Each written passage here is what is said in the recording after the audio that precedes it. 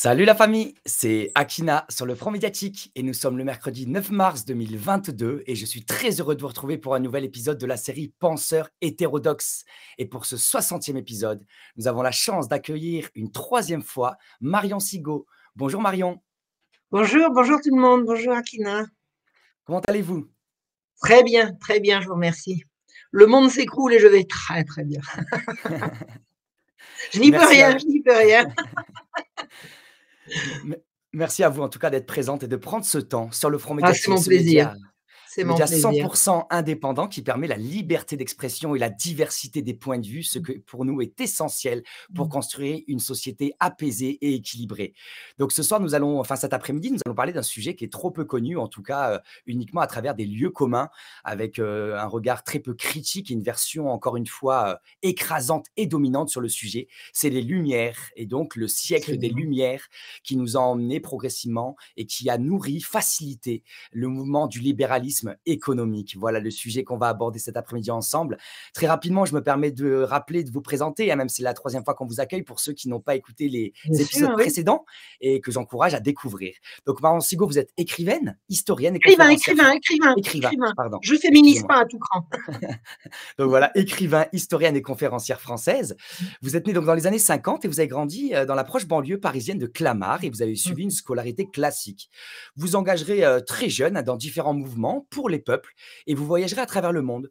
Vous êtes parti par exemple en Israël hein, dans les années 70 où vous avez tenté l'expérience des kibbutz, une expérience intéressante qu'on voit aujourd'hui par l'émergence de lieux mmh. collectifs en France à l'époque de cette crise systémique. Vous avez été prise de passion hein, par l'expérience, vous avez même étudié le judaïsme et, et l'hébreu. Et en 1991, en pleine guerre du Golfe, vous avez publié chez Flammarion Les deux cœurs du monde, du kibbutz à l'intifada, qui raconte votre amour déchirant pour ces deux peuples que vous avez aviez eu la chance de rencontrer. J'ai appris l'hébreu et l'arabe. Et l'arabe. Et l'arabe. Voilà, je tiens à le dire parce qu'on ne peut pas s'arrêter là. J'ai appris l'hébreu puis l'arabe. Voilà. Et ça montre aussi cette curiosité, cette ouverture et cet intérêt pour la diversité des cultures, quelque chose aussi qui est tenté d'être détruit par ce monde, euh, mmh. on pourrait dire la monoculture, pas que dans l'agriculture, mais aussi la monoculture mmh. à l'échelle du monde et, et, qui détruit cette diversité de cultures. Absolument, donc en 1999, Marion Sigo, vous avez été envoyé par le CCFD à la rencontre d'une ONG sud-africaine dévouée au secours des oubliés euh, de l'abolition de l'apartheid, les plus pauvres des Sud-Africains. Et en 2001, alors que vous résidiez en Bourgogne, euh, vous avez décidé de reprendre vos études d'histoire. Ça montre encore cette démarche euh, où vous, vous savez aller de l'avant, vous créez, créez, de nouveaux défis et toute cette curiosité.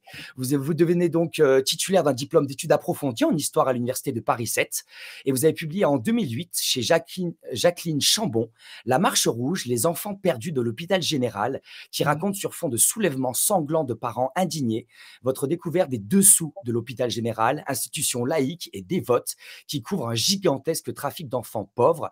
Et pour ceux qui découvrent euh, ben, ce sujet, n'hésitez pas euh, à aller voir l'interview précédente que nous avons réalisée avec Marion Sigaud, qui parle de cette problématique et de ces enjeux autour de l'hôpital général.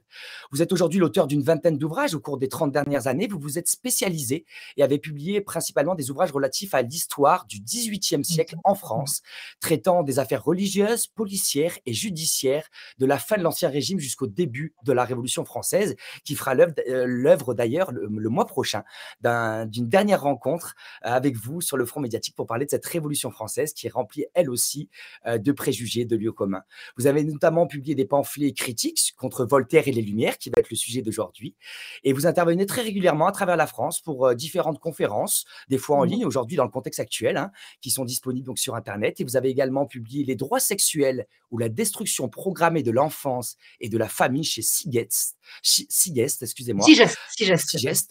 Un sujet voilà, qui, tient, qui vous tient à cœur et que vous dénoncez de toutes vos forces mmh. depuis des années, malgré évidemment euh, euh, les critiques euh, sur ce sujet très sensible.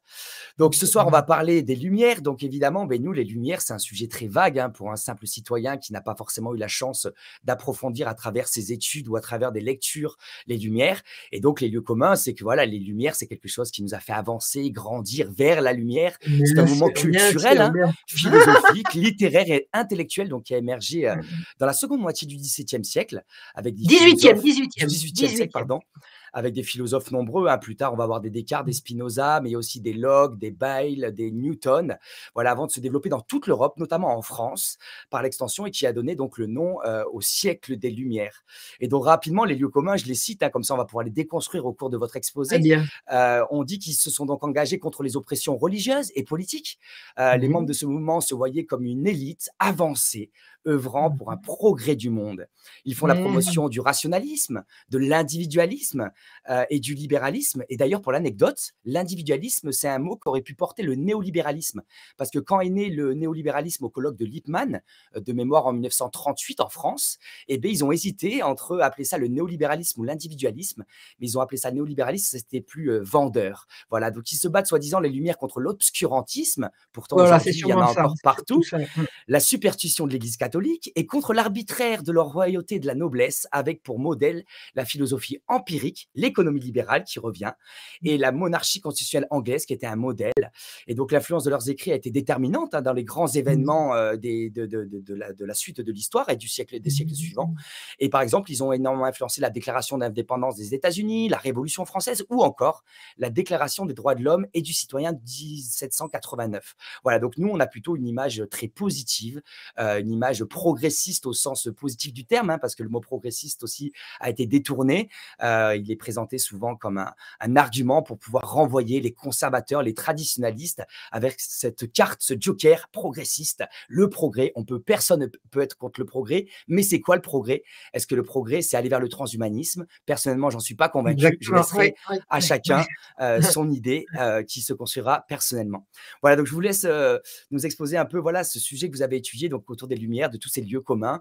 Et je me permettrai de vous poser des questions euh, au cours de cet exposé s'il euh, y a des éléments que je ne comprends pas ou si je suis étonné par certaines informations simplement pour les relever en tant qu'animateur euh, de cet après-midi. Merci beaucoup en tout cas à vous d'être présent et merci à la communauté aussi qui sont présents avec nous et qui sont curieux eux aussi, contrairement à ce qu'on nous fait croire. Les, citoyens ne sont pas que des veaux ou des moutons. Les citoyens ont envie d'être des êtres humains conscients et de comprendre leur époque et, et se questionner sur l'existence humaine. Je vous en prie, Marion.